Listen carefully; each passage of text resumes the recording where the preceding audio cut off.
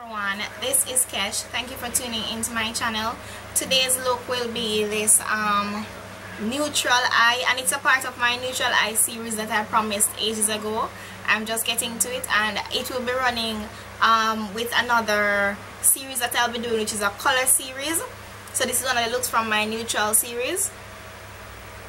I don't know what I'll be calling it yet but by now you should already see the title. Um, don't forget to comment below like this video share on any other social media site that you may use. Also if you haven't already subscribe to my channel. Follow me on instagram and like my facebook page. Thank you for watching. I'm starting off by priming my lids and i'm going to prime the entire area um close to my even up close to my eyebrows um just so my shadow stays on longer and so that it does not crease.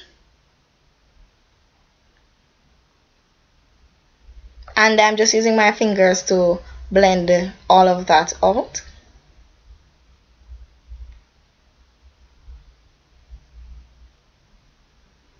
Next I'm taking my blending brush and I am using that Prisma face powder the one that I've been using for my transition color.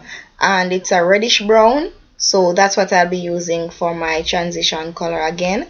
And as I said before I'm just using my elf blending brush to just blend it all out. Next I'm taking a dark brown from my NYX beauty box and I'm dragging that in my crease and just a little bit above my crease. And I am placing um, the I'm using a pencil brush also I'm going to put a bit of product on it. Next I'm using my blending brush just blend out the dark brown that I place in my crease so that it does not look too harsh. I'm also going to use my NYX eyeshadow base the white one and I'm putting that on my mobile lid before I add the colors that I'll be placing on my lids because I want the colors to be brighter than the I want them to show up bright on the lid.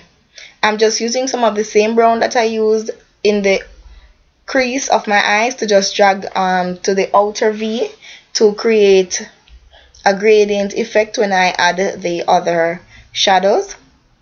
And I'm ensuring that I place it just at the end of the outer V. Next I'm taking an eyeshadow blush and I'm using that N um, rose gold color from my NYX beauty box and I'm placing that in the center. And I'm only going to leave a small portion of my eyelids um, to put a different color on. So I'm just packing that on. I'm using that small eyeshadow brush and I'm going for a light shade of gold. And I'm placing that in the inner third of my eyelids. And I'm ensuring that it overlaps with the rose gold. Next I'm just using my blending brush just blend everything out. From that MAC palette I am using the gold. I will try to see if I can find the name of that color to put in the description box below but it's a gold and it's very very pigmented very bright so I'm putting that in my inner tear duct and I'm dragging it to the um, inner third of my lower lash line and for the rest of my lash line I'm just going to use the same rose gold that I used on my lids. And I'm just smudging it out a little bit. Next I am lining my waterline with a black eyeliner pencil. And I am going to be adding the same gold that I added to the inner third of my um, lid as my highlight my brow bone highlight so that's what it looks like so far. Off camera I did a winged liner. Now I'm going to take that Ioni Cosmetics liquid liner and from my lower lash line I'm just going to drag another line because I'm creating a double winged effect. And I'm also going to put that on the inner third of my eyes so that it does not look like the wing is is not attached to anything. So that's what I am doing right there and when I looked at it it looked like it needed to be extended. So that's what I was doing. So that's what it looks like. And you already know my favorite mascara. My favorite mascara is the Maybelline Great Lash Mascara. Because of the brush and it gets um, my lower lashes very well. So I'm just placing that on my um, lashes because I will not be using any fake lashes in this video and I'm doing both the upper and the lower lashes.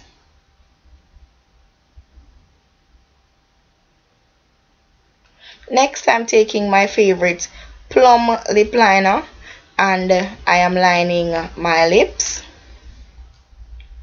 So that's what I'm doing both top and bottom just lining my lips with my favorite plum lip liner. And I find that I wear this lip liner with almost every lipstick. I don't know why I love this lip liner so much. I think it goes well with my skin tone. Alright the color that I'll be wearing on my lips is by Estee Lauder. It's a peach gloss so it's like a liquid lipstick. Um so it has both color and it remain it has a sheen.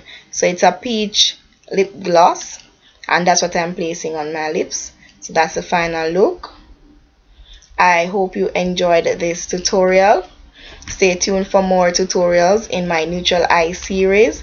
And don't forget to comment share like subscribe and follow me on Instagram. Thank you for watching